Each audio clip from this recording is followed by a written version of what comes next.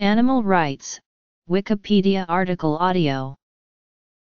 Animal rights is the idea in which some, or all, non-human animals are entitled to the possession of their own lives and that their most basic interests such as the need to avoid suffering should be afforded the same consideration as similar interests of human beings. Advocates oppose the assignment of moral value and fundamental protections on the basis of species membership alone an idea known since 1970 as speciesism, when the term was coined by Richard D. Ryder arguing that it is a prejudice as irrational as any other. They maintain that animals should no longer be viewed as property or used as food, clothing, research subjects, entertainment, or beasts of burden. Multiple cultural traditions around the world such as animism, Taoism, Hinduism, Buddhism, and Jainism also espouse some forms of animal rights. Historical development in the West.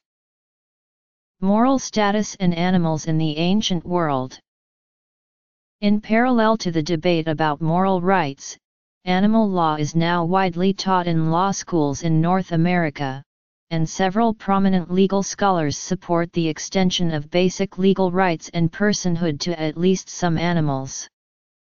The animals most often considered in arguments for personhood are bonobos and chimpanzees. This is supported by some animal rights academics because it would break through the species barrier, but opposed by others because it predicates moral value on mental complexity, rather than on sentience alone. Critics of animal rights argue that non-human animals are unable to enter into a social contract, and thus cannot be possessors of rights, a view summed up by the philosopher Roger Scruton, who writes that only humans have duties, and therefore only humans have rights. Another argument, associated with the utilitarian tradition, is that animals may be used as resources so long as there is no unnecessary suffering, they may have some moral standing, but they are inferior in status to human beings, and any interests they have may be overridden, though what counts as necessary suffering or a legitimate sacrifice of interests varies considerably. Certain forms of animal rights activism, such as the destruction of fur farms and animal laboratories by the Animal Liberation Front, have also attracted criticism, including from within the animal rights movement itself, as well as prompted reaction from the U.S. Congress with the enactment of laws allowing these activities to be prosecuted as terrorism, including the Animal Enterprise Terrorism Act. Aristotle argued that animals lacked reason, and placed humans at the top of the natural world, yet the respect for animals in ancient Greece was very high. Some animals were considered divine, e.g. dolphins. The 21st century debates about animals can be traced back to the ancient world, and the idea of a divine hierarchy. In the book of Genesis 1:26, Adam is given dominion over the fish of the sea, and over the fowl of the air, and over the cattle, and over all the earth, and over every creeping thing that creepeth upon the earth. Dominion need not entail property rights, but it has been interpreted, by some, over the centuries to imply ownership. Contemporary philosopher Bernard Rollin writes that dominion does not entail or allow abuse any more than does dominion a parent enjoys over a child. Rollin further states that the biblical Sabbath requirement promulgated in the Ten Commandments required that animals be granted a day of rest along with humans. Correlatively, the Bible forbids plowing with an ox and an ass together. According to the rabbinical tradition, this prohibition stems from the hardship that an ass would suffer by being compelled to keep up with an ox, which is, of course, far more powerful. Similarly, one finds the prohibition against muzzling an ox when it treads out the grain, and even an environmental prohibition against destroying trees when besieging a city. These ancient regulations, virtually forgotten, bespeak of an eloquent awareness of the status of animals as ends in themselves, a point also corroborated by Norm Phelps. The philosopher and mathematician, Pythagoras, urged respect for animals, believing that human and non-human souls were reincarnated from human to animal, and vice versa. Against this, Aristotle, student to the philosopher Plato, argued that non-human animals had no interests of their own, ranking them far below humans in the great chain of being. He was the first to create a taxonomy of animals, he perceived some similarities between humans and other species, but argued for the most part that animals lacked reason, reasoning, thought, and belief. 17th century, Animals as Automata Theophrastus, one of Aristotle's pupils, argued that animals also had reasoning and opposed eating meat on the grounds that it robbed them of life and was therefore unjust. Theophrastus did not prevail, Richard Sorabji writes that current attitudes to animals can be traced to the heirs of the Western Christian tradition selecting the hierarchy that Aristotle sought to preserve. Plutarch in his Life of Cato the Elder comments that while law and justice are applicable strictly to men only, beneficence and charity towards beasts is characteristic of a gentle heart. This is intended as a correction and advance over the merely utilitarian treatment of animals and slaves by Cato himself. Early animal protection laws in Europe Tom Beauchamp writes that the most extensive account in antiquity of how animals should be treated was written by the Neoplatonist philosopher Porphyry, in his On Abstinence from Animal Food, and On Abstinence from Killing Animals. According to Richard D. Ryder, the first known animal protection legislation in Europe was passed in Ireland in 1635. It prohibited pulling wool off sheep, and the attaching of ploughs to horses' tails, referring to the cruelty used to beasts. In 1641 the first legal code to protect domestic animals in North America was passed by the Massachusetts Bay Colony. The colony's constitution was based on the body of liberties by the Reverend Nathaniel Ward, an English lawyer, Puritan clergyman, and University of Cambridge graduate. Ward's list of rights included Right 92, no man shall exercise any tyranny or cruelty toward any brute creature which are usually kept for man's use. Historian Roderick Nash writes that, at the height of René Descartes' influence in Europe and his view that animals were simply automata it is significant that the New Englanders created a law that implied animals were not unfeeling machines. The Puritans passed animal protection legislation in England too. Kathleen Kete writes that animal welfare laws were passed in 1654 as part of the ordinances of the Protectorate the government under Oliver Cromwell, which lasted from 1653 to 1659, following the English Civil War. Cromwell disliked blood sports, which included cockfighting, cock throwing, dog fighting, bull baiting and bull running, said to tenderize the meat. These could be seen in villages and fairgrounds, and became associated with idleness, drunkenness, and gambling. Kete writes that the Puritans interpreted the biblical dominion of man over animals to mean responsible stewardship, rather than ownership. The opposition to blood sports became part of what was seen as Puritan interference in people's lives, and the animal protection laws were overturned during the Restoration, when Charles II was returned to the throne in 1660. René Descartes The great influence of the 17th century was the French philosopher, René Descartes, whose meditations informed attitudes about animals well into the 20th century.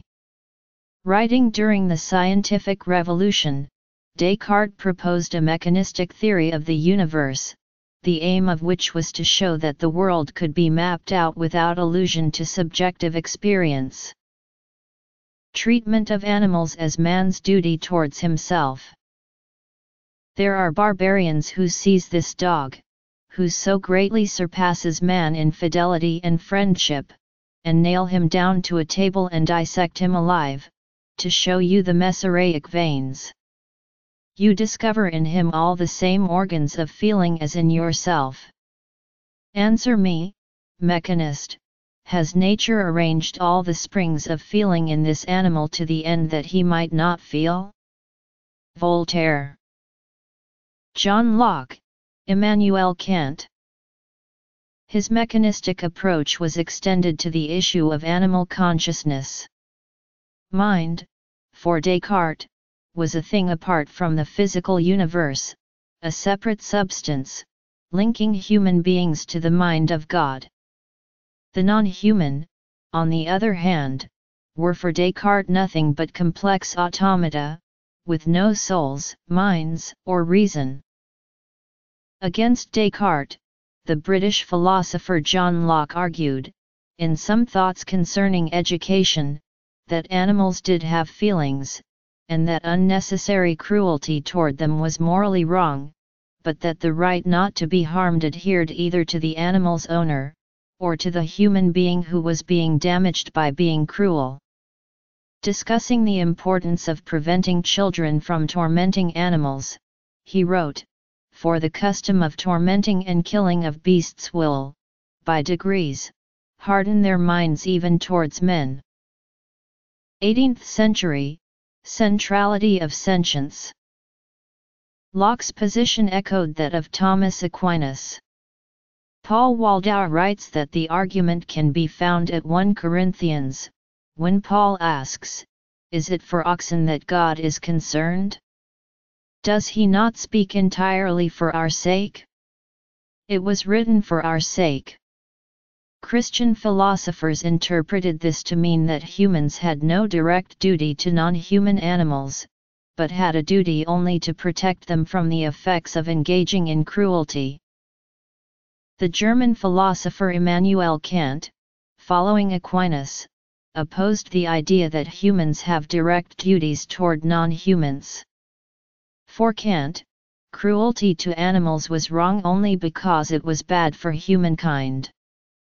He argued in 1785 that cruelty to animals is contrary to man's duty to himself, because it deadens in him the feeling of sympathy for their sufferings, and thus a natural tendency that is very useful to morality in relation to other human beings is weakened. Jean-Jacques Rousseau argued in Discourse on Inequality for the inclusion of animals in natural law on the grounds of sentience. By this method also we put an end to the time-honored disputes concerning the participation of animals in natural law, for it is clear that, being destitute of intelligence and liberty, they cannot recognize that law, as they partake, however, in some measure of our nature, in consequence of the sensibility with which they are endowed, they ought to partake of natural right, so that mankind is subjected to a kind of obligation even toward the brutes.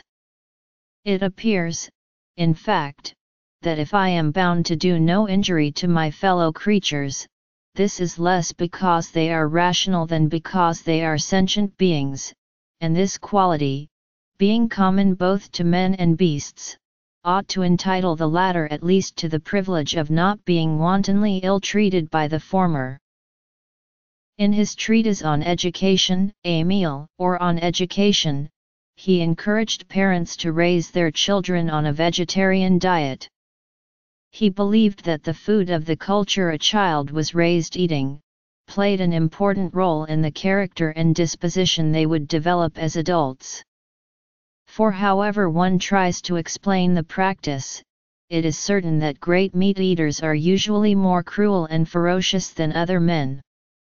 This has been recognized at all times and in all places. The English are noted for their cruelty while the Gaurs are the gentlest of men. All savages are cruel, and it is not their customs that tend in this direction, their cruelty is the result of their food. Four years later, one of the founders of modern utilitarianism, the English philosopher Jeremy Bentham, although opposed to the concept of natural rights, argued that it was the ability to suffer that should be the benchmark of how we treat other beings. Bentham claims that the capacity for suffering gives the right to equal consideration. Equal consideration is that the interest of any being affected by an action are to be considered and have the equal interest of any other being. If rationality were the criterion, he argued, many humans, including infants and the disabled, would also have to be treated as though they were things. He did not conclude that humans and non-humans had equal moral significance, but argued that the latter's interests should be taken into account. He wrote in 1789, just as African slaves were being freed by the French. Jean-Jacques Rousseau the French have already discovered that the blackness of the skin is no reason a human being should be abandoned without redress to the caprice of a tormentor. It may one day come to be recognized that the number of the legs, the villosity of the skin, or the termination of the os sacrum are reasons equally insufficient for abandoning a sensitive being to the same fate. What else is it that should trace the insuperable line? Is it the faculty of reason or perhaps the faculty of discourse? But a full-grown horse or dog, is beyond comparison a more rational, as well as a more conversable animal, than an infant of a day or a week or even a month, old. But suppose the case were otherwise, what would it avail? The question is not, can they reason, nor can they talk? But, can they suffer? Jeremy Bentham The 19th century saw an explosion of interest in animal protection, particularly in England. Debbie Legge and Simon Brooman write that the educated classes became concerned about attitudes toward the old, the needy, children, and the insane, and that this concern was extended to non-humans. Before the 19th century, there had been prosecutions for poor treatment of animals, but only because of the damage to the animal as property. In 1793, for example, John Cornish was found not guilty of maiming a horse after pulling the animal's tongue out. The judge ruled that Cornish could be found guilty only if there was evidence of malice toward the owner. From 1800 onwards, there were several attempts in England to introduce animal protection legislation. The first was a bill against bull baiting, introduced in April 1800 by a Scottish MP, Sir William Pulteney. It was opposed inter alia on the grounds that it was anti-working class, and was defeated by two votes. Another attempt was made in 1802, this time opposed by the Secretary at War, William Windham, who said the bill was supported by Methodists and Jacobins who wished to destroy the Old English character, by the abolition of all rural sports. In 1809, Lord Erskine introduced a bill to protect cattle and horses from malicious wounding, wanton cruelty, and beating. He told the House of Lords that animals had protection only as property, the animals themselves are without protection the law regards them not substantively they have no rights. Erskine in his parliamentary speech combined the vocabulary of animal rights and trusteeship with a theological appeal included in the bill's preamble to opposing cruelty. The bill was passed by the Lords, but was opposed in the Commons by Windham, who said it would be used against the lower orders when the real culprits would be their employers. D'ye think I'd wallop him? No, no, no, but gentle means I'd try, d'ye see, because I hate all cruelty, if all had been like me, in fact, there'd ha been no occasion for Martin's act, music hall song inspired by the prosecution of Bill Burns for cruelty to a donkey. 19th century, emergence of jus animalium. Martin's Act. Society for the Prevention of Cruelty to Animals. Arthur Schopenhauer. In 1821, the treatment of horses bill was introduced by Colonel Richard Martin, MP for Galway in Ireland, but it was lost among laughter in the House of Commons that the next thing would be rights for asses, dogs, and cats. Nicknamed Humanity Dick by George IV, Martin finally succeeded in 1822 with his ill treatment of horses and cattle bill or Martin's Act, as it became known which was the world's first major piece of animal protection legislation. It was given royal assent on June 22 that year as an act to prevent the cruel and improper treatment of cattle, and made it an offence, punishable by fines up to £5 or two months' imprisonment, to beat, abuse, or ill-treat any horse, mare, gelding, mule, ass, ox, cow, heifer, steer, sheep or other cattle.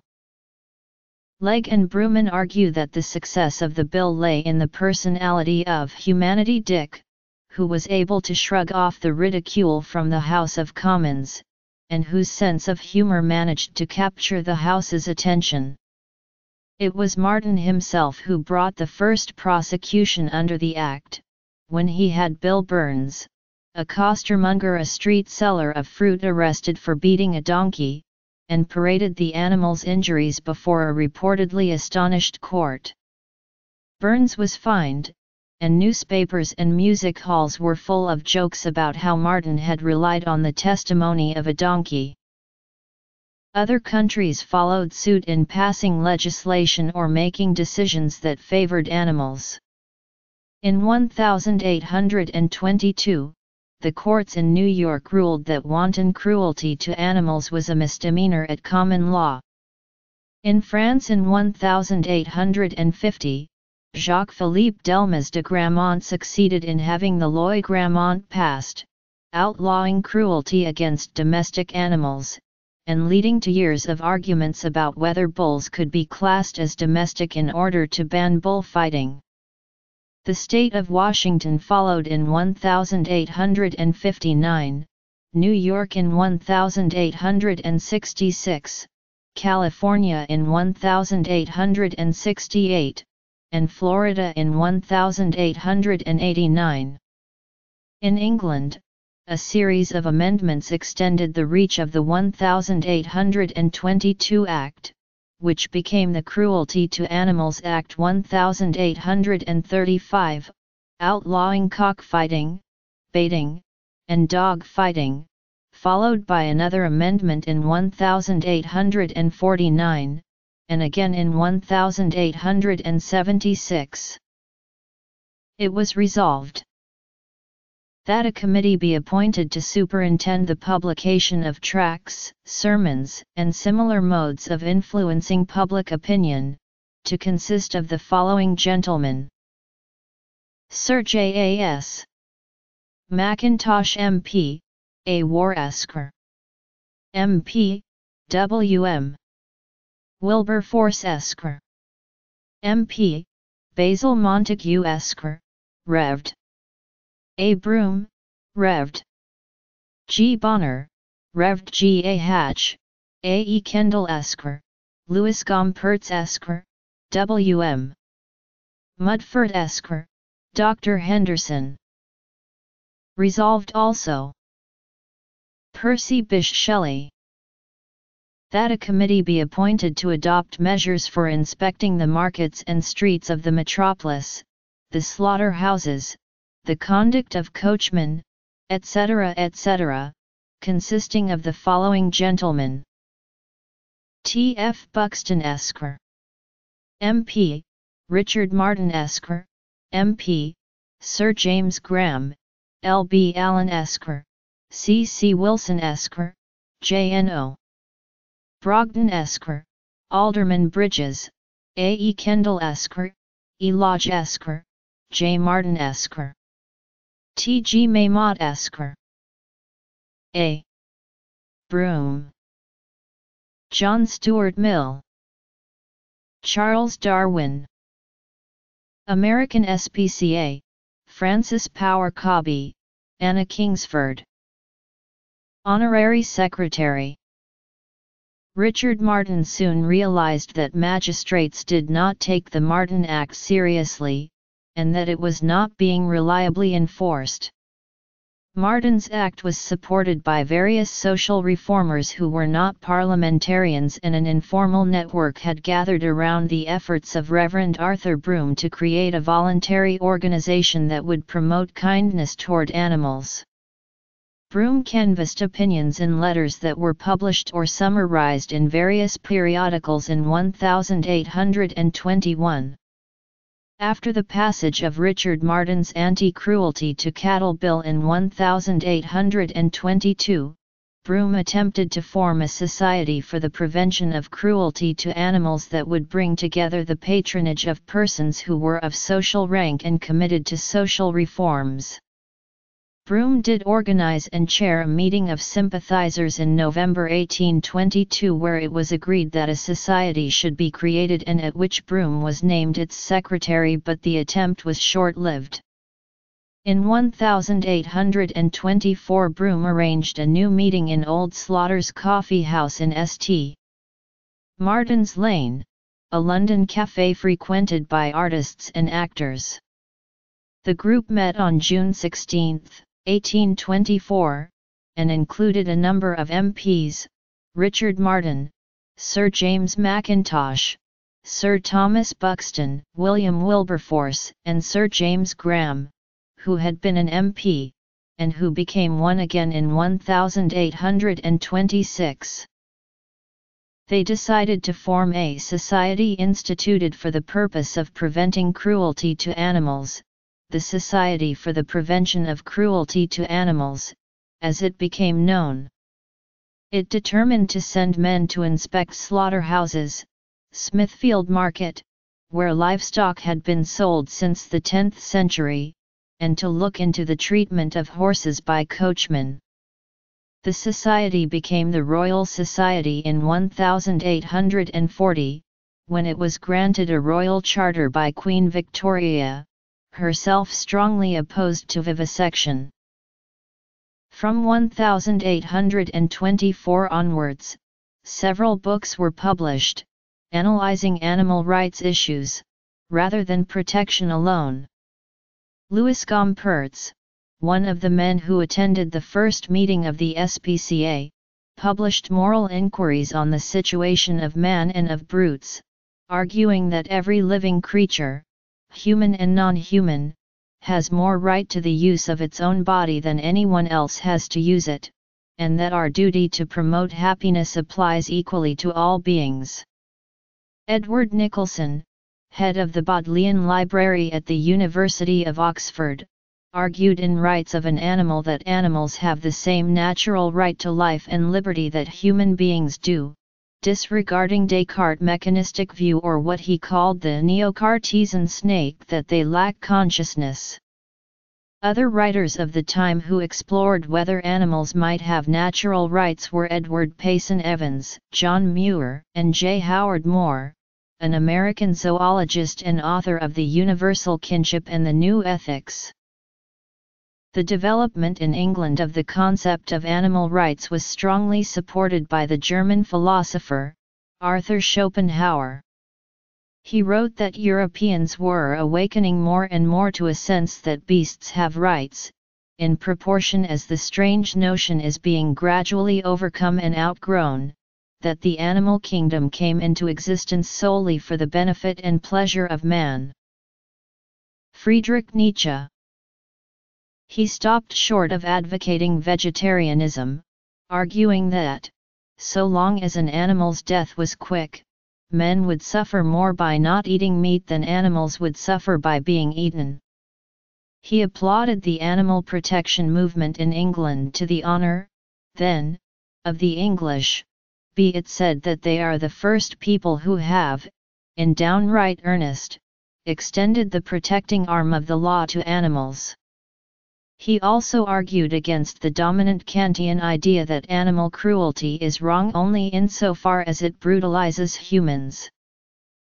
Thus, because Christian morality leaves animals out of account, they are at once outlawed in philosophical morals, they are mere things, mere means to any ends whatsoever.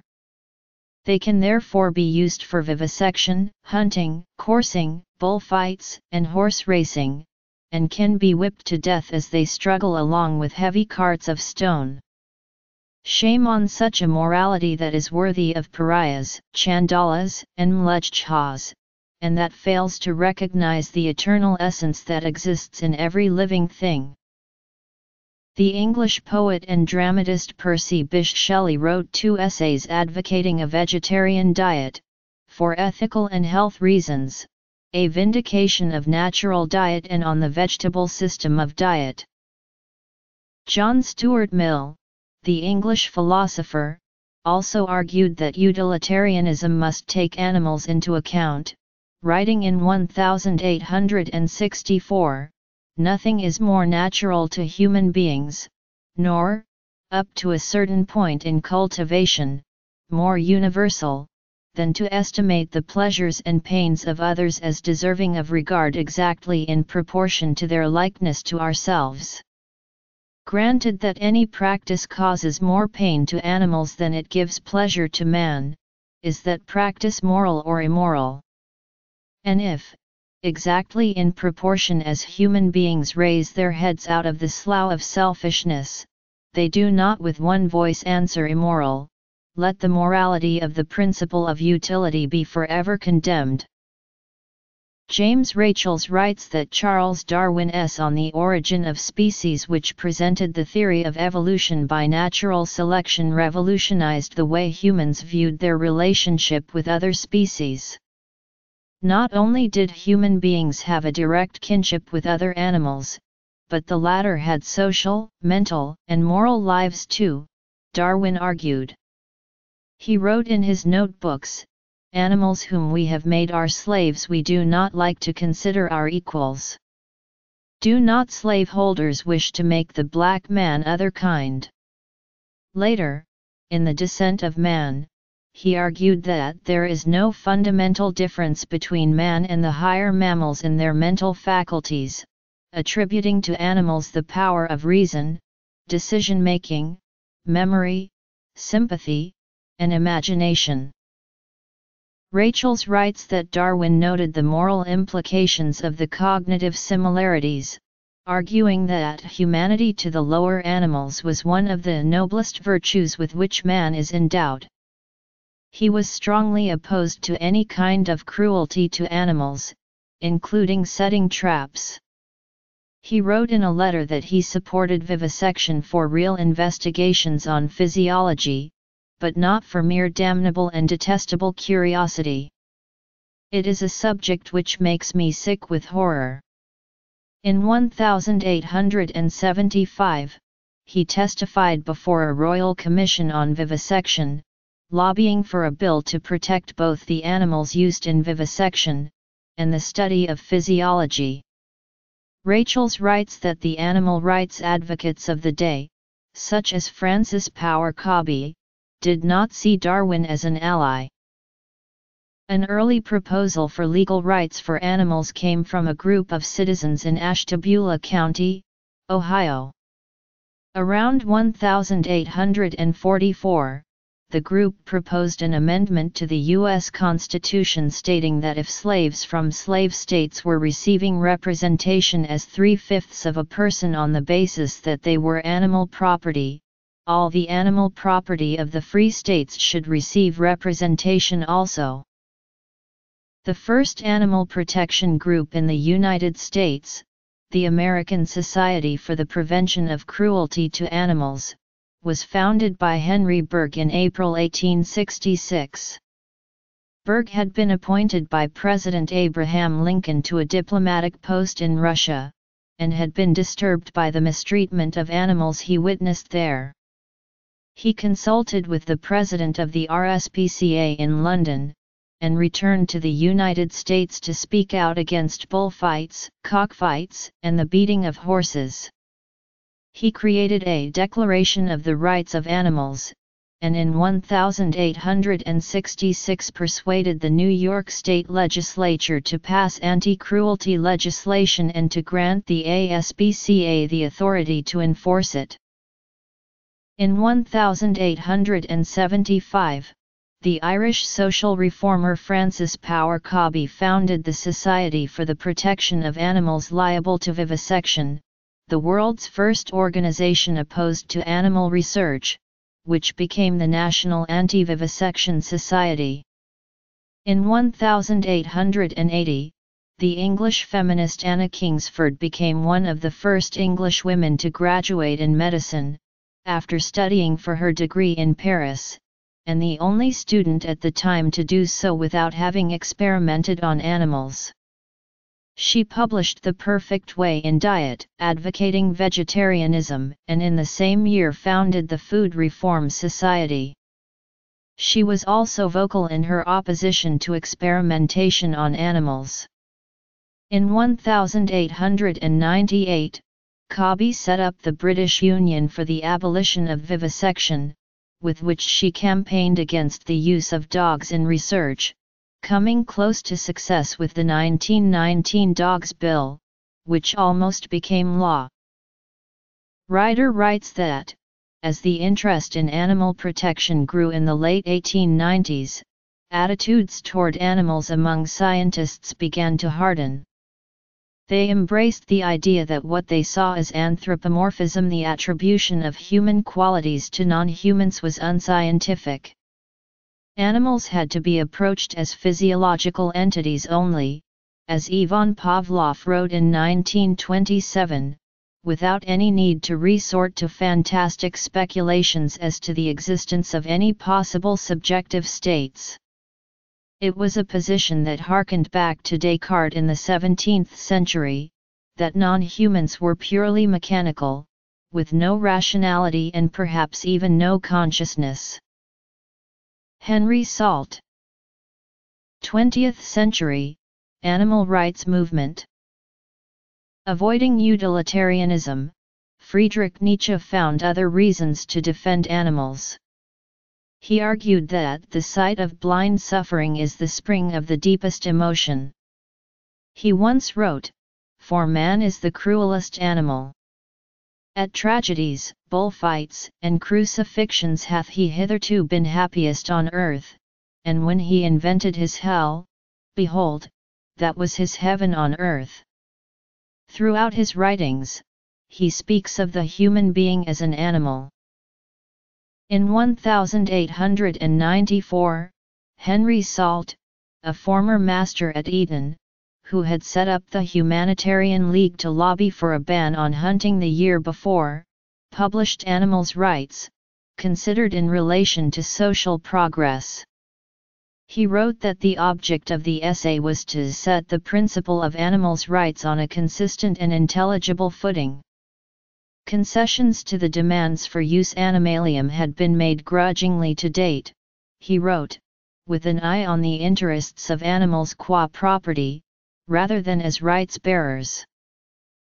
Brown Dog Affair, Lizzie Lind A.F. Hageby even the leading advocates of animal rights seem to have shrunk from basing their claim on the only argument which can ultimately be held to be a really sufficient one the assertion that animals, as well as men, though, of course, to a far less extent than men, are possessed of a distinctive individuality, and, therefore, are in justice entitled to live their lives with a due measure of that restricted freedom to which Herbert Spencer alludes. Development of veganism. Tire scoots Increase in animal use Development of direct action. Formation of the Oxford Group. Publication of Animal Liberation. Founding of the Animal Liberation Front. Animal Rights International. 21st Century Developments. Petitions for habeas corpus. Indian subcontinent. Religions Legal actions in the 21st century. In religion he argued that there was no point in claiming rights for animals if those rights were subordinated to human desire, and took issue with the idea that the life of a human might have more moral worth. Notion of the life of an animal having no moral purpose, belongs to a class of ideas which cannot possibly be accepted by the advanced humanitarian thought of the present day. It is a purely arbitrary assumption, at variance with our best instincts, at variance with our best science, and absolutely fatal to any full realization of animals' rights. If we are ever going to do justice to the lower races, we must get rid of the antiquated notion of a great gulf fixed between them and mankind, and must recognize the common bond of humanity that unites all living beings in one universal brotherhood.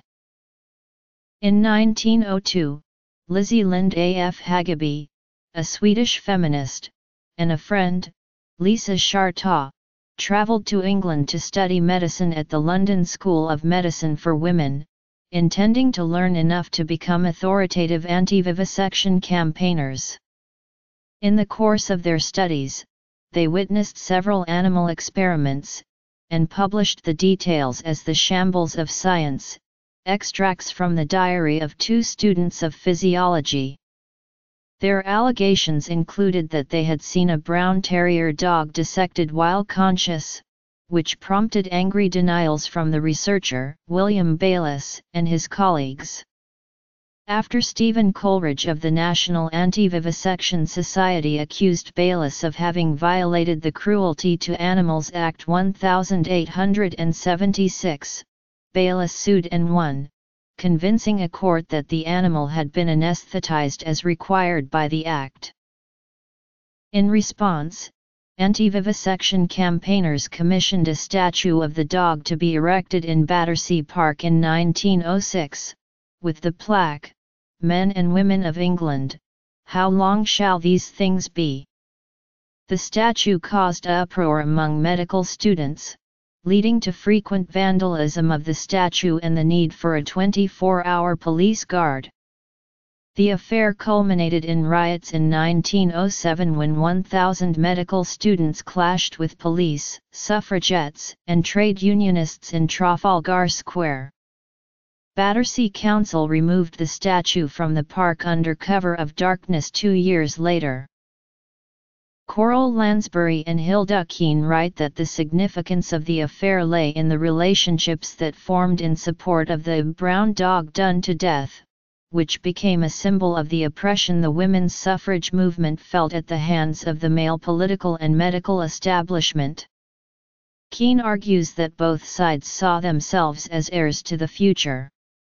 The students saw the women and trade unionists as representatives of anti-science sentimentality, while the women saw themselves as progressive, with the students and their teachers belonging to a previous age. Members of the English Vegetarian Society who avoided the use of eggs and animal milk in the 19th and early 20th century were known as strict vegetarians. The International Vegetarian Union cites an article informing readers of alternatives to shoe leather in the Vegetarian Society's magazine in 1851 as evidence of the existence of a group that sought to avoid animal products entirely. There was increasing unease within the society from the start of the 20th century onwards with regards to egg and milk consumption, and in 1923 its magazine wrote that the ideal position for vegetarians is abstinence from animal products.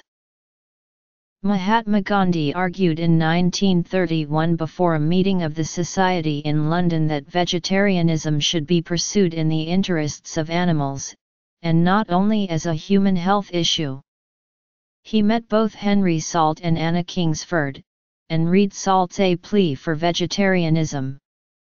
Salt wrote in the pamphlet that a vegetarian is still regarded, in ordinary society, as little better than a madman.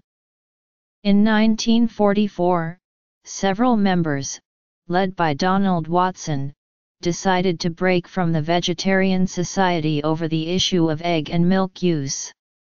Watson coined the term vegan for those whose diet included no animal products, and they formed the British Vegan Society on November 1 that year.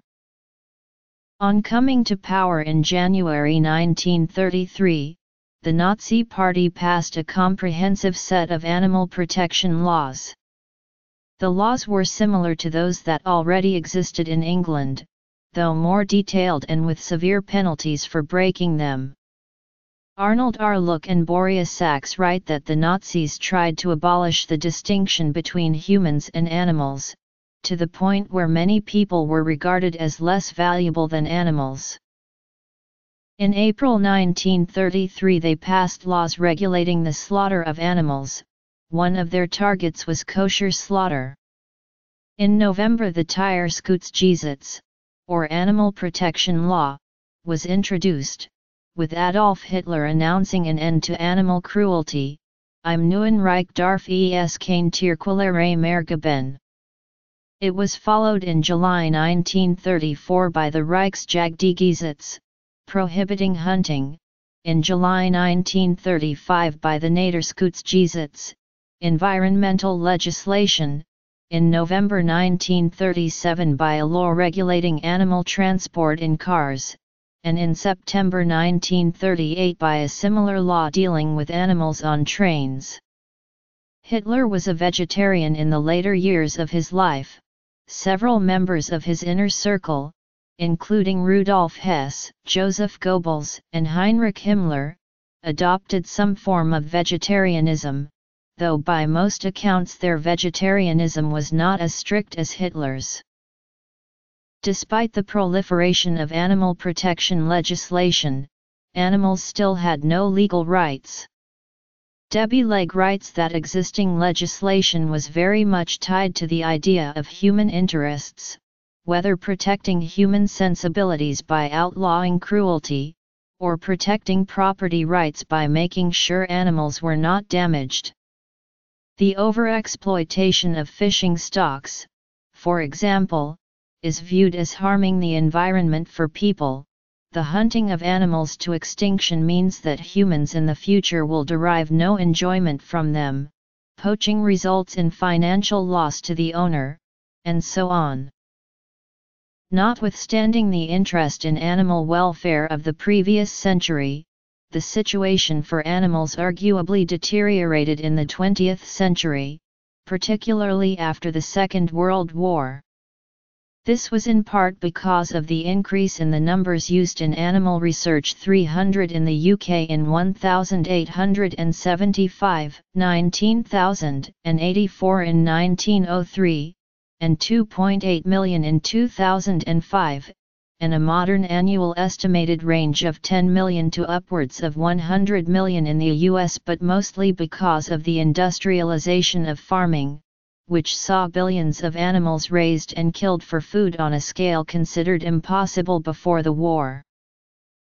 In the early 1960s in England, support for animal rights began to coalesce around the issue of blood sports, particularly hunting deer, foxes, and otters using dogs, an aristocratic and middle-class English practice, stoutly defended in the name of protecting rural traditions. The psychologist Richard D. Ryder who became involved with the animal rights movement in the late 1960s writes that the new chair of the League Against Cruel Sports tried in 1963 to steer it away from confronting members of the hunt, which triggered the formation that year of a direct action breakaway group, the Hunt Saboteurs Association. This was set up by a journalist, John Prestige who had witnessed a pregnant deer being chased into a village and killed by the Devon and Somerset staghounds. The practice of sabotaging hunts spread throughout southeast England, particularly around university towns, leading to violent confrontations when the huntsmen attacked the Sabs. The controversy spread to the RSPCA, which had arguably grown away from its radical roots to become a conservative group with charity status and royal patronage. It had failed to speak out against hunting, and indeed counted huntsmen among its members. As with the League Against Cruel Sports, this position gave rise to a splinter group, the RSPCA Reform Group, which sought to radicalize the organization, leading to chaotic meetings of the group's ruling council, and successful efforts to change it from within by electing to the council members who would argue from an animal rights perspective, and force the RSPCA to address issues such as hunting, factory farming, and animal experimentation. Ryder himself was elected to the council in 1971, and served as its chair from 1977 to 1979. The same period saw writers and academics begin to speak out again in favor of animal rights. Ruth Harrison published Animal Machines, an influential critique of factory farming, and on October 10, 1965, the novelist Brigid Brophy had an article, The Rights of Animals, published in the Sunday Times. She wrote, The relationship of Homo sapiens to the other animals is one of unremitting exploitation. We employ their work, we eat and wear them. We exploit them to serve our superstitions, whereas we used to sacrifice them to our gods and tear out their entrails in order to foresee the future, we now sacrifice them to science, and experiment on their entail in the hope or on the mere off chance that we might thereby see a little more clearly into the present. To us it seems incredible that the Greek philosophers should have scanned so deeply into right and wrong and yet never noticed the immorality of slavery. Perhaps 3,000 years from now it will seem equally incredible that we do not notice the immorality of our own oppression of animals. Robert Garner writes that Harrison's book and Brophy's article led to an explosion of interest in the relationship between humans and non-humans. In particular, Brophy's article was discovered in or around 1969 by a group of postgraduate philosophy students at the University of Oxford, Rosalind and Stanley Godlovitch, John Harris, and David Wood, now known as the Oxford Group they decided to put together a symposium to discuss the theory of animal rights. Around the same time, Richard Ryder wrote several letters to the Daily Telegraph criticizing animal experimentation, based on incidents he had witnessed in laboratories.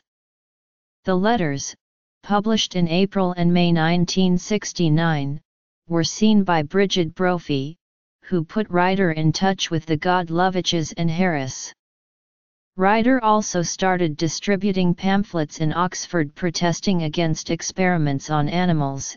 It was in one of these pamphlets in 1970 that he coined the term speciesism to describe the exclusion of non-human animals from the protections offered to humans.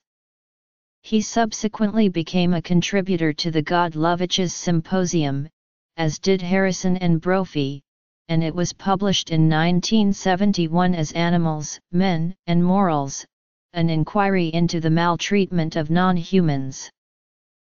In 1970, over lunch in Oxford with fellow student Richard Keshen, a vegetarian, Australian philosopher Peter Singer came to believe that, by eating animals, he was engaging in the oppression of other species. Keshen introduced Singer to the god Godlovitches, and in 1973 Singer reviewed their book for the New York Review of Books. In the review, he used the term animal liberation, writing, We are familiar with black liberation, gay liberation, and a variety of other movements. With women's liberation some thought we had come to the end of the road. Discrimination on the basis of sex, it has been said, is the last form of discrimination that is universally accepted and practiced without pretense. But one should always be wary of talking of the last remaining form of discrimination. Animals, Men, and Morals is a manifesto for an animal liberation movement. On the strength of his review, the New York Review of Books took the unusual step of commissioning a book from Singer on the subject, published in 1975 as Animal Liberation, now one of the animal rights movement's canonical texts. Singer based his arguments on the principle of utilitarianism the view, in its simplest form, that an act is right if it leads to the greatest happiness of the greatest number, a phrase first used in 1776 by Jeremy Bentham. He argued in favor of the equal consideration of interests, the position that there are no grounds to suppose that a violation of the basic interests of a human for example, an interest in not suffering is different in any morally significant way from a violation of the basic interests of a non-human. Singer used the term speciesism in the book, citing Ryder, and it stuck, becoming an entry in the Oxford English Dictionary in 1989. The book's publication triggered a groundswell of scholarly interest in animal rights. Richard Ryder's Victims of Science, The Use of Animals in Research appeared, followed by Andrew Linzey's Animal Rights, A Christian Perspective, and Stephen R. L. Clark's The Moral Status of Animals. A conference on animal rights was organized by Ryder and Linzey at Trinity College, Cambridge, in August 1977. This was followed by Mary Midgley's Beast and Man, The Roots of Human Nature, then Animal Rights A Symposium, which included the papers delivered to the Cambridge Conference. From 1982 onwards, a series of articles by Tom Regan led to his The Case for Animal Rights, in which he argues that non-human animals are subjects of a life, and therefore possessors of moral rights, a work regarded as a key text in animal rights theory. Regan wrote in 2001 that philosophers had written more about animal rights in the previous 20 years than in the 2000 years before that. Garner writes that Charles Magel's bibliography, Key Guide to Information Sources in Animal Rights, contains 10 pages of philosophical material on animals up to 1970, but 13 pages between 1970 and 1989 alone. In 1971, a law student, Ronnie Lee, formed a branch of the Hunt Saboteurs Association in Luton, later calling it the Band of Mercy after a 19th-century RSPCA youth group. The band attacked hunters' vehicles by slashing tires and breaking windows, calling it active compassion. In November 1973, they engaged in their first act of arson when they set fire to a Hoechst Pharmaceuticals research laboratory, claiming responsibility as a nonviolent guerrilla organization dedicated to the liberation of animals from all forms of cruelty and persecution at the hands of mankind. Lee and another activist were sentenced to three years in prison in 1974, paroled after 12 months. In 1976 Lee brought together the remaining Band of Mercy activists along with some fresh faces to start a leaderless resistance movement, calling it the Animal Liberation Front. ALF activists see themselves as a modern underground railroad, passing animals removed from farms and laboratories to sympathetic veterinarians, safe houses, and sanctuaries. Some activists also engage in threats, intimidation, and arson, acts that have lost the movement's sympathy in mainstream public opinion. The decentralized model of activism is frustrating for law enforcement organizations, who find the networks difficult to infiltrate, because they tend to be organized around friends. In 2005, the U.S. Department of Homeland Security indicated how seriously it takes the ALF when it included them in a list of domestic terrorist threats. The tactics of some of the more determined ALF activists are anathema to many animal rights advocates, such as Singer, who regard the movement as something that should occupy the moral high ground. ALF activists respond to the criticism with the argument that, as Ingrid Newkirk puts it, thinkers may prepare revolutions, but bandits must carry them out. From the 1980s through to the early 2000s there was an increased level of violence by animal rights extremist groups directed at individuals and institutions associated with animal research. Activist groups involved included the Justice Department, the Animal Rights Militia and SHAC. In the 1980s, animal rights became associated with punk subculture and ideologies, particularly straight-edge hardcore punk in the United States and anarcho-punk in the United Kingdom. This association continues on into the 21st century, as evidenced by the prominence of vegan punk events such as Fluff Fest in Europe. Henry Spira, a former seaman and civil rights activist, became the most notable of the new animal advocates in the United States. A proponent of gradual change, he formed Animal Rights International in 1974, and introduced the idea of reintegrative shaming, whereby a relationship is formed between a group of animal rights advocates and a corporation they see as misusing animals, with a view to obtaining concessions or halting a practice. It is a strategy that has been widely adopted, most notably by People for the Ethical Treatment of Animals. Spira's first campaign was in opposition to the American Museum of Natural History in 1976, where cats were being experimented on, research that he persuaded them to stop. His most notable achievement was in 1980, when he convinced the cosmetics company Revlon to stop using the Draize test, which involves toxicity tests on the skin or in the eyes of animals. He took out a full-page ad in several newspapers, featuring a rabbit with sticking plaster over the eyes, and the caption, How many rabbits does Revlon blind for beauty's sake? Revlon stopped using animals for cosmetics testing, donated money to help set up the Center for Alternatives to Animal Testing, and was followed by other leading cosmetics companies.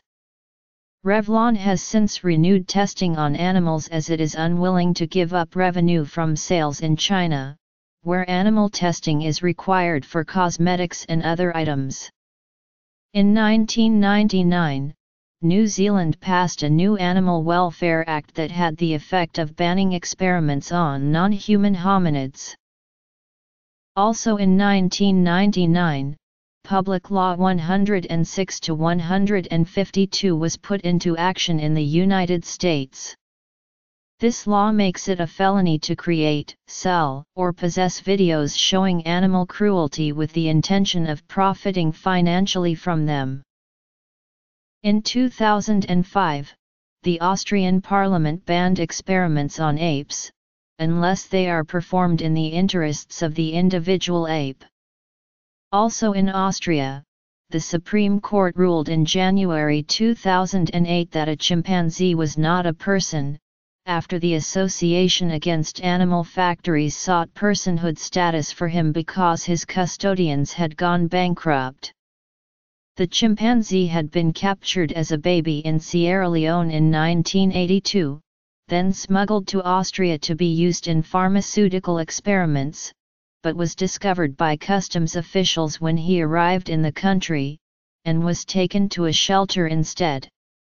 He was kept there for 25 years, until the group that ran the shelter went bankrupt in 2007. Donors offered to help him, but under Austrian law only a person can receive personal gifts, so any money sent to support him would be lost to the shelter's bankruptcy. the association appealed the ruling to the European Court of Human Rights. The lawyer proposing the chimpanzee's personhood asked the court to appoint a legal guardian for him and to grant him four rights the right to life, limited freedom of movement, personal safety, and the right to claim property. In June 2008, a committee of Spain's national legislature became the first to vote for a resolution to extend limited rights to non-human primates.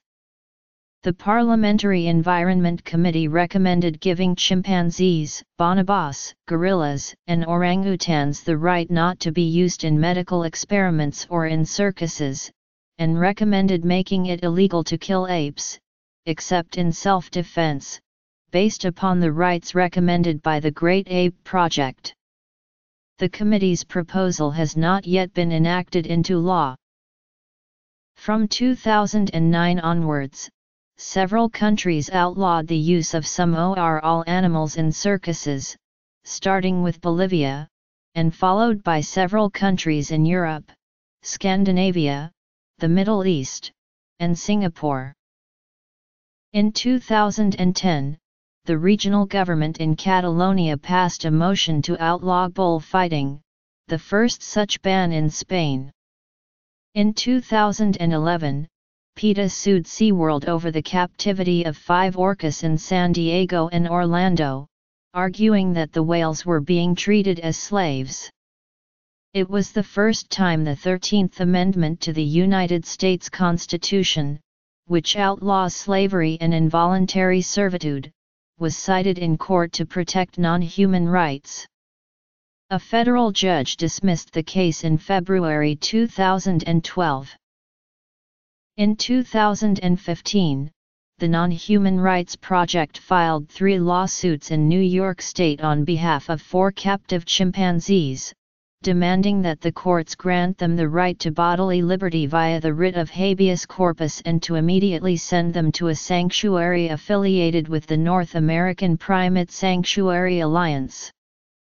All of the petitions were denied. In the case involving the chimpanzees Hercules and Leo, Justice Barbara Jaffe did not immediately dismiss the filing and instead ordered a hearing requiring the chimpanzee owner to show why the chimpanzees should be not be released and transferred to the sanctuary. Following the hearing, Justice Jaffe issued an order denying Hercules and Leo's petition. Even though the petition was denied, NHRP interpreted Justice Jaffe's decision as a victory. In its press release it emphasized the fact that Justice Jeff agreed with NHRP when finding that persons are not restricted to human beings, and that who is a person is not a question of biology, but of public policy and principle and also stating that efforts to extend legal rights to chimpanzees are thus understandable, someday they may even succeed. Robert Garner writes that both Hindu and Buddhist societies abandoned animal sacrifice and embraced vegetarianism from the 3rd century BCE. Several kings in India built hospitals for animals, and the Emperor Ashoka issued orders against hunting and animal slaughter, in line with Ahimsa, the doctrine of nonviolence. Garner writes that Jainism took this idea further. Jains believe that no living creature should be harmed, and they are known to clear paths in front of them by sweeping them to protect any insect life that may be present. Paul Waldau writes that, in 2000, the High Court in Kerala used the language of rights in relation to circus animals, ruling that they are beings entitled to dignified existence under Article 21 of the Indian Constitution. The ruling said that if human beings are entitled to these rights, animals should be too.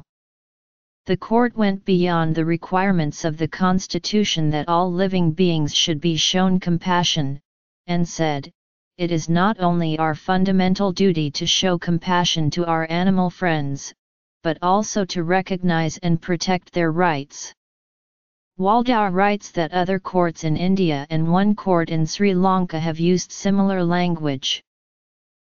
In 2012, the Indian government issued a ban on the use of live animals in education and much research. For some the basis of animal rights is in religion or animal worship, with some religions banning killing of any animal. One of the most important sanctions of the Buddhist faith is the concept of ahimsa, or refraining from the destruction of life. According to Buddhist belief, humans do not deserve preferential treatment over other living beings. See also in section above. In contrast, in other religions, animals can be unclean, within general allowing eating all except for these. The Torah allows eating certain kinds of winged swarming things while prohibiting others. Animal rights were recognized early by the Sharia. This recognition is based on both the Quran and the Hadith. In the Quran, there are many references to animals, detailing that they have souls, form communities, communicate with God and worship Him in their own way. Muhammad forbade his followers to harm any animal and asked them to respect the rights of animals. It is a distinctive characteristic of the Sharia that all animals have legal rights. Othman Llewellyn even argues that Sharia has mechanisms for the full repair of injuries suffered by non-human creatures including their representation in court, assessment of injuries and awarding of relief to them. The classical Muslim jurist Izz ad-Din ibn Abd as-Salam, who flourished during the 13th century, formulated the following statement of animal rights. The rights of livestock and animals upon man, these are that he spend on them the provision that their kinds require, even if they have aged or sickened such that no benefit comes from them, that he not burden them beyond what they can bear, that he not put them together with anything by which they would be injured, whether of their own kind or other species, and whether by breaking their bones or butting or wounding, that he slaughters them with kindness when he slaughters them, and neither flay their skins nor break their bones until their bodies have become cold and their lives have passed away, that he not slaughter their young within their sight, but that he isolate them, that he makes comfortable their resting places and watering places, that he puts their males and females together during their mating seasons, that he not discard those which he takes as game, and neither shoots them with anything that breaks their bones nor brings about their destruction by any means that renders their meat unlawful to eat. On the other hand, animal sacrifice is a prominent feature of Eid al-Adha observances. The two main philosophical approaches to animal rights are utilitarian and rights-based. The former is exemplified by Peter Singer, and the latter by Tom Regan and Gary Francione. Their differences reflect a distinction philosophers draw between ethical theories that judge the rightness of an act by its consequences, and those that focus on the principle behind the act, almost regardless of consequences. Deontologists argue that there are acts we should never perform, even if failing to do so entails a worse outcome. There are a number of positions that can be defended from a consequentialist or deontologist perspective, including the capabilities approach, represented by Martha Nussbaum, and the egalitarian approach, which has been examined by Ingmar Persson and Peter Vallentyne. The capabilities approach focuses on what individuals require to fulfill their capabilities. Nussbaum argues that animals need a right to life, some control over their environment, company, play, and physical health. Stephen R. L. Clark, Mary Midgley, and Bernard Rollin also discuss animal rights in terms of animals being permitted to lead a life appropriate for their kind. Egalitarianism favors an equal distribution of happiness among all individuals, which makes the interests of the worse off more important than those of the better off. Another approach, virtue ethics, holds that in considering how to act we should consider the character of the actor, and what kind of moral agents we should be. Rosalind Hursthouse has suggested an approach to animal rights based on virtue ethics. Mark Rowlands has proposed a contractarian approach. Nussbaum writes that utilitarianism, starting with Jeremy Bentham and John Stuart Mill, has contributed more to the recognition of the moral status of animals than any other ethical theory. The utilitarian philosopher most associated with animal rights is Peter Singer, professor of bioethics at Princeton University. Singer is not a rights theorist, but uses the language of rights to discuss how we ought to treat individuals. He is a preference utilitarian, meaning that he judges the rightness of an act by the extent to which it satisfies the preferences of those affected.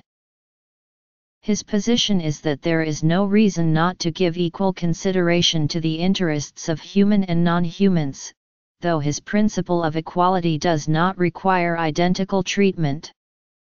A mouse and a man both have an interest in not being kicked, and there are no moral or logical grounds for failing to accord those interests equal weight. Interests are predicated on the ability to suffer, nothing more, and once it is established that a being has interests, those interests must be given equal consideration. Singer quotes the English philosopher Henry Sidgwick, the good of any one individual is of no more importance, from the point of view, of the universe, than the good of any other. Singer argues that equality of consideration is a prescription, not an assertion of fact, if the equality of the sexes were based only on the idea that men and women were equally intelligent, we would have to abandon the practice of equal consideration if this were later found to be false. But the moral idea of equality does not depend on matters of fact such as intelligence, physical strength, or moral capacity. Equality therefore cannot be grounded on the outcome of scientific investigations into the intelligence of non-humans. All that matters is whether they can suffer. Commentators on all sides of the debate now accept that animals suffer and feel pain, although it was not always so. Bernard Rollin, professor of philosophy, animal sciences, and biomedical sciences at Colorado State University, writes that Descartes' influence continued to be felt until the 1980s. Veterinarians trained in the U.S. before 1989 were taught to ignore pain, he writes, and at least one major veterinary hospital in the 1960s did not stock narcotic analgesics for animal pain control. In his interactions with scientists, he was often asked to prove that animals are conscious, and to provide scientifically acceptable evidence that they could feel pain. Scientific publications have made it clear since the 1980s that the majority of researchers do believe animals suffer and feel pain, though it continues to be argued that their suffering may be reduced by an inability to experience the same dread of anticipation as humans, or to remember the suffering as vividly. The problem of animal suffering, and animal consciousness in general, arose primarily because it was argued that animals have no language. Singer writes that, if language were needed to communicate pain, it would often be impossible to know when humans are in pain, though we can observe pain behavior and make a calculated guess based on it. He argues that there is no reason to suppose that the pain behavior of non-humans would have a different meaning from the pain behavior of humans. Tom Regan, professor emeritus of philosophy at North Carolina State University, argues in the case for animal rights that non-human animals are what he calls subjects of a life, and as such are bearers of rights. He writes that, because the moral rights of humans are based on their possession of certain cognitive abilities, and because these abilities are also possessed by at least some non-human animals, such animals must have the same moral rights as humans. Although only humans act as moral agents, both marginal case humans, such as infants, and at least some non-humans must have the status of moral patients. Moral patients are unable to formulate moral principles, and as such are unable to do right or wrong, even though what they do may be beneficial or harmful. Only moral agents are able to engage in moral action. Animals for Regan have intrinsic value as subjects of a life, and cannot be regarded as a means to an end, a view that places him firmly in the abolitionist camp. His theory does not extend to all animals, but only to those that can be regarded as subjects of a life. He argues that all normal mammals of at least one year of age would qualify. Individuals are subjects of a life if they have beliefs and desires, perception, memory, and a sense of the future, including their own future, an emotional life together with feelings of pleasure and pain, preference and welfare interests, the ability to initiate action in pursuit of their desires and goals, a psychophysical identity over time, and an individual welfare in the sense that their experiential life fares well or ill for them, logically independently of their utility for others and logically independently of their being the object of anyone else's interests. Whereas Singer is primarily concerned with improving the treatment of animals and accepts that, in some hypothetical scenarios, individual animals might be used legitimately to further human or non-human ends, Regan believes we ought to treat non-human animals as we would humans. He applies the strict Kantian ideal that they ought never to be sacrificed as a means to an end, and must be treated as ends in themselves. Gary Francione, professor of law and philosophy at Rutgers Law School in Newark, is a leading abolitionist writer, arguing that animals need only one right, the right not to be owned. Everything else would follow from that paradigm shift. He writes that, although most people would condemn the mistreatment of animals, and in many countries there are laws that seem to reflect those concerns, in practice the legal system allows any use of animals, however abhorrent. The law only requires that any suffering not be unnecessary. In deciding what counts as unnecessary, an animal's interests are weighed against the interests of human beings, and the latter almost always prevail. Francione's Animals, Property, and the Law was the first extensive jurisprudential treatment of animal rights. In it, Francione compares the situation of animals to the treatment of slaves in the United States, where legislation existed that appeared to protect them, while the courts ignored that the institution of slavery itself rendered the protection unenforceable. He offers as an example the United States Animal Welfare Act, which he describes as an example of symbolic legislation, intended to assuage public concern about the treatment of animals, but difficult to implement. Islam. Philosophical and legal approaches. Overview. Utilitarianism.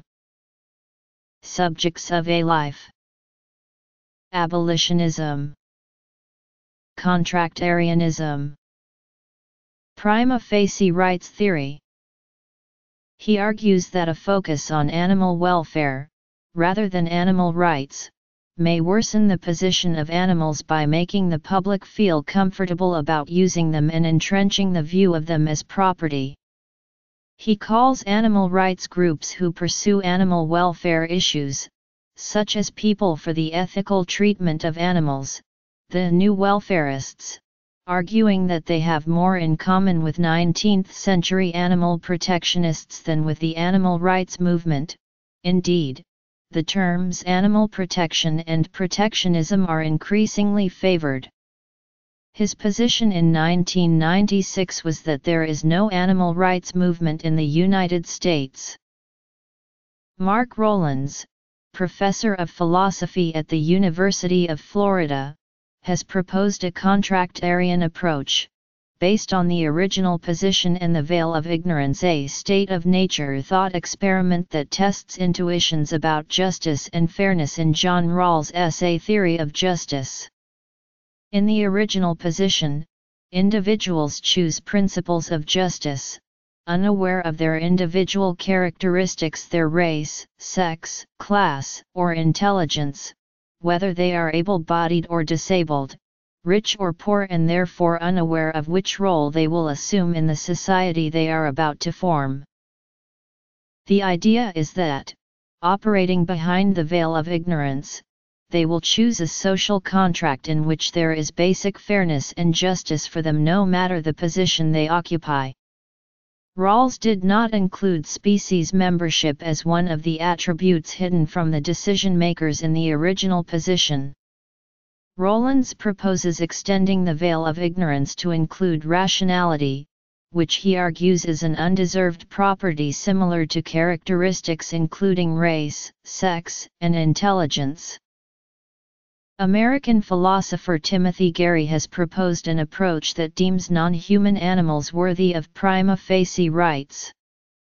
In a philosophical context, a prima facie right is one that appears to be applicable at first glance, but upon closer examination may be outweighed by other considerations.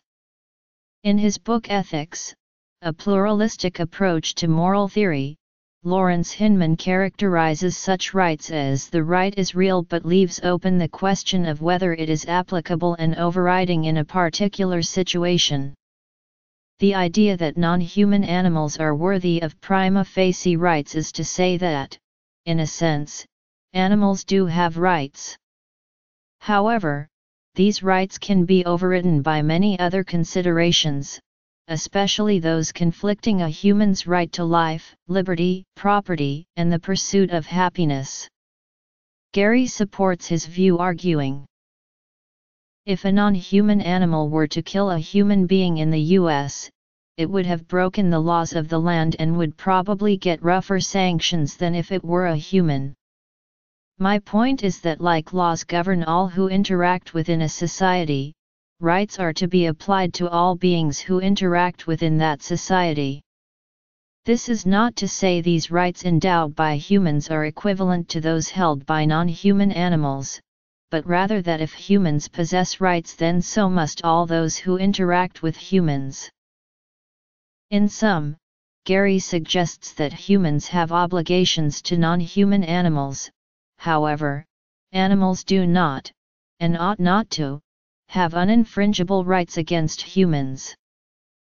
Women have played a central role in animal advocacy since the 19th century.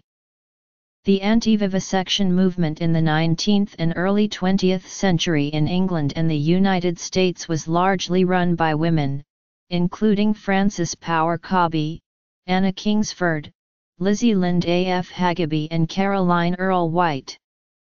Garner writes that 70% of the membership of the Victoria Street Society were women, as were 70% of the membership of the British RSPCA in 1900.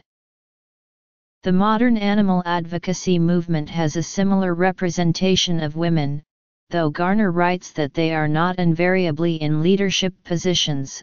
During the March for Animals in Washington, D.C., in 1990 the largest animal rights demonstration held until then in the United States most of the participants were women, but most of the platform speakers were men.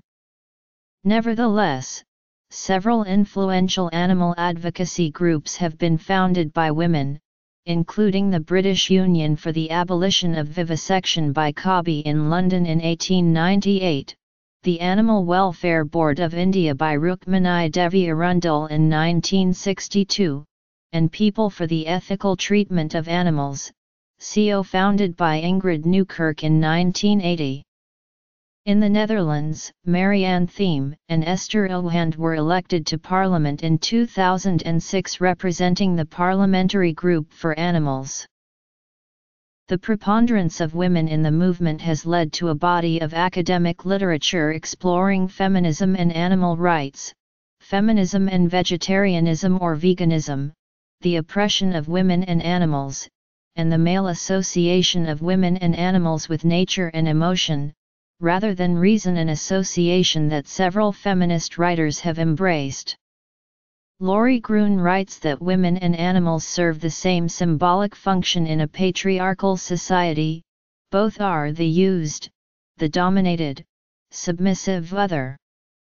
When the British feminist Mary Wollstonecraft published A Vindication of the Rights of Woman, Thomas Taylor, a Cambridge philosopher, responded with an anonymous parody, A Vindication of the Rights of Brutes, claiming that Wollstonecraft's arguments for women's rights could be applied equally to animals, a position he intended as reductio ad absurdum. Some transhumanists argue for animal rights, liberation, and uplift of animal consciousness into machines. Transhumanism also understands animal rights on a gradation or spectrum with other types of sentient rights, including human rights and the rights of conscious artificial intelligences.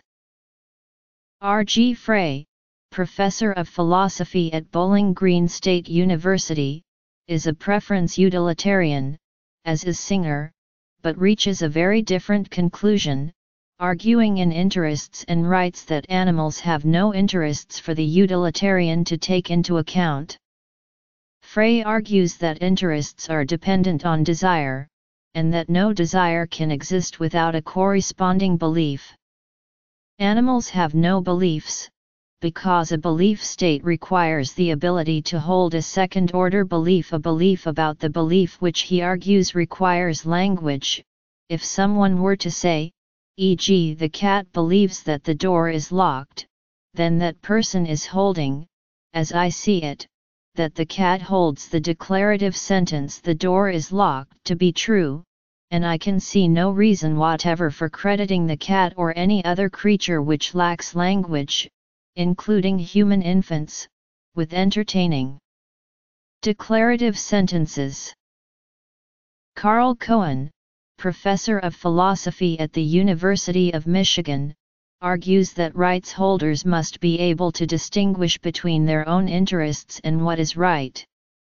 The holders of rights must have the capacity to comprehend rules of duty governing all, including themselves in applying such rules, must recognize possible conflicts between what is in their own interest and what is just. Only in a community of beings capable of self-restricting moral judgments can the concept of a right be correctly invoked. Cohen rejects Singer's argument that, since a brain-damaged human could not make moral judgments, moral judgments cannot be used as the distinguishing characteristic for determining who is awarded rights. Cohen writes that the test for moral judgment is not a test to be administered to humans one by one, but should be applied to the capacity of members of the species in general. Judge Richard Posner of the United States Court of Appeals for the Seventh Circuit debated the issue of animal rights in 2001 with Peter Singer. Posner posits that his moral intuition tells him that human beings prefer their own. If a dog threatens a human infant, even if it requires causing more pain to the dog to stop it, than the dog would have caused to the infant, then we favor the child. It would be monstrous to spare the dog. Singer challenges this by arguing that formerly unequal rights for gays, women, and certain races were justified using the same set of intuitions. Posner replies that equality in civil rights did not occur because of ethical arguments, but because facts mounted that there were no morally significant differences between humans based on race, sex, or sexual orientation that would support inequality. If and when similar facts emerge about humans and animals, the differences in rights will erode too. But facts will drive equality, not ethical arguments that run contrary to instinct, he argues. Posner calls his approach soft utilitarianism, in contrast to Singer's hard utilitarianism. He argues The soft utilitarian position on animal rights is a moral intuition of many, probably most, Americans. We realize that animals feel pain, and we think that to inflict pain without a reason is bad. Nothing of practical value is added by dressing up this intuition in the language of philosophy, much is lost when the intuition is made a stage in a logical argument. When kindness toward animals is levered into a duty of weighting the pains of animals and of people equally, bizarre vistas of social engineering are opened up. Roger Scruton, the British philosopher, argues that rights imply obligations.